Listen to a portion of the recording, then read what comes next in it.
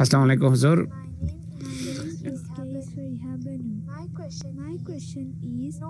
প্রশ্ন হলো, সচরাচর আমরা ব্যক্তিগত দোয়া সেজদাতে করি, কিন্তু আমরা যদি সেজদায় কিছু চাইতে ভুলে যাই আর নামাজ শেষ করার পর যদি মনে পড়ে, আমরা কি সালাম ফেরানোর পর দোয়া করার দোয়া করতে পারি কিনা? তুমি কারও সাহায্য যখন চাইতে যাও, তখন বা সাহায্যের জন্য তার বাসায় যাও। তুমি তার সাথে কোনো কথা বলার জন্য গিয়ে থাকো বা সাহায্য চাওয়ার জন্য যাও, কিন্তু সেখানে গিয়ে যদি তুমি তার সামনে কথা না বলো, সেখান থেকে ঘর, তার ঘর থেকে বেরিয়ে আসো, এরপর দূর থেকে বলো যে আমাকে একটু সাহায্য করো। এমনটি তখন বলা আসলে অর্থহীন। দোয়া সত্যিকার অর্থে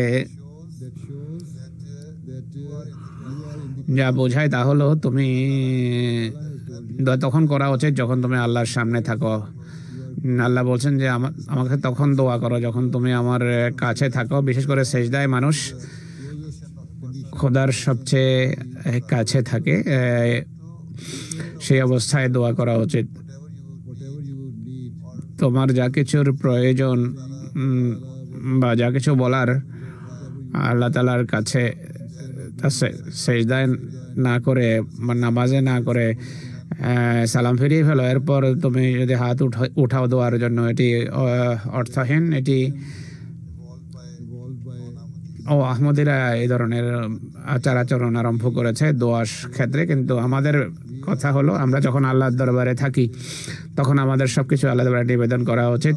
এমন নয় যে যখন আল্লাহর ঘর ছেড়ে বাইরে চলে আসব বা তার নৈকট্য থেকে দূরে চলে যাব তখন দোয়া করব। যদিও আল্লাহ সব জায়গায় আছে এটি বলা যায় না যে আমরা আল্লাহকে ছেড়ে এসেছি বা আল্লাহ এখানে নেই। বা এটি বলা যাবে না যে আমরা নামাজের বাইরে থাকলে আল্লাহ থেকে দূরে চলে যাই।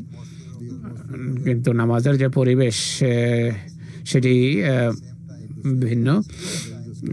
কিন্তু আল্লাহ একটা বিশেষ সময় আমাদের উপহার দিয়েছেন সেজদাতে। আহ, অর্থাৎ যখন তোমরা নামাজ পড়ো বা শেষ দায় থাকো তখন আমার সাহায্য যাচনা করো এবং যা বলার তখন বলো। একটা জিনিস যদি ভুলে যাও তাহলে পাঁচ নামাজ আছে এরপরে নামাজে তুমি একই জিনিসে দোয়া করতে পারো।